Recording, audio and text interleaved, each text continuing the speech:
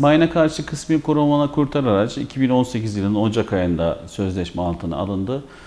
2020 yılında teslimatları başladık ve 2020 yılının ikinci çeyreğinde teslimatlarımız gerçekleştirildi. Şu anda envanterde 29 tane araç var. Bu üstün yeteneklerle donatılmış bir araç.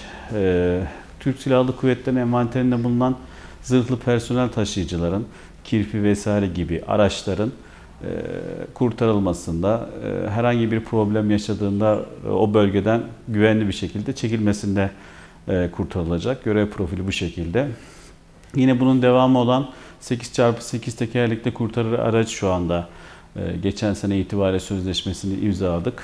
İşte bugünlerde kalifikasyon testlerine başladık. Nasip olursa 2023 e, yılı içerisinde bütün teslimatları Allah nasip ederse gerçekleştirmiş olacağız. Bu ikinci partide de 33 adet aracı Türk Silahlı Kuvvetleri'nin e, emrine vermiş olacağız.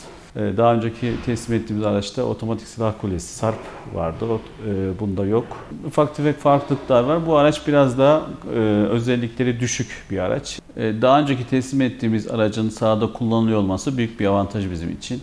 Sahadaki e, Türk Silahlı Kuvvetlerimizin değerli e, mensupları bize bu aracın daha da verimli hale gelmesi için birçok geri bildirimde bulunuyor ve bunları biz e, uygun bir şekilde araçlarımıza yansıtıyoruz.